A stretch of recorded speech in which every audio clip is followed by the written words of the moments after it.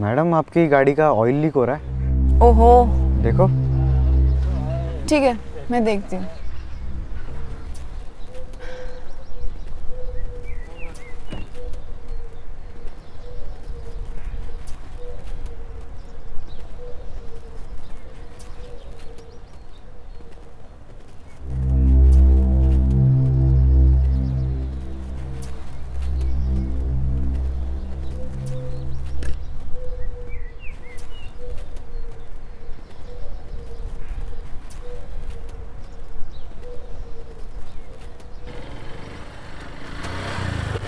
Madam आपकी help कर दूँ? नहीं मैं कर लूँ। अरे मैडम बहुत तेल टपक रहा है आपकी गाड़ी से मैं हेल्प करता हूँ फिर अरे नहीं रहने दीजिए मैं कर लूँगी थैंक यू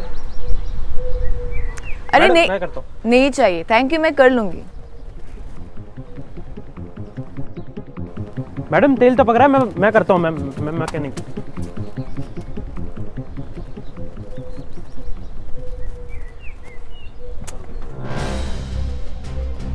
मैडम ये देखो ये देखो ये देखो देखो कहाँ से नहीं तेल निकल रहा देखो। ये आपका ही- अरे!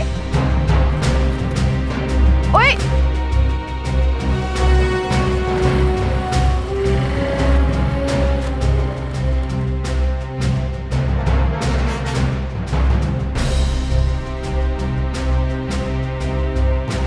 ये सेम इंसिडेंट दिल्ली में एक लेडी के साथ हुआ था। जहाँ पे एक बंदा उनकी गाड़ी के पास आया और उनको बोला कि उनकी गाड़ी से ऑयल लीक कर रहा है। सो डू चेक नेचुरली वो गाड़ी से उतरी और देखने लगी कि ऑयल कहाँ से लीक कर रहा है।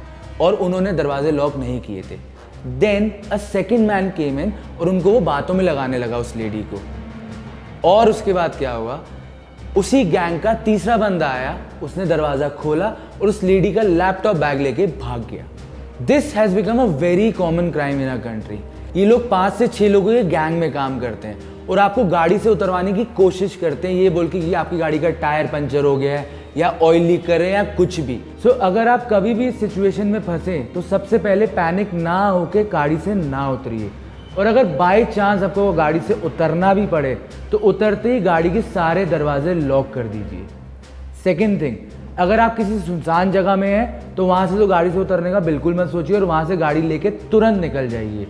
एंड सबसे इंपॉर्टेंट चीज़, गाड़ी में कोई भी एक्सपेंसिव आइटम ना छोड़िए because your safety is in your hands so always be aware see you next week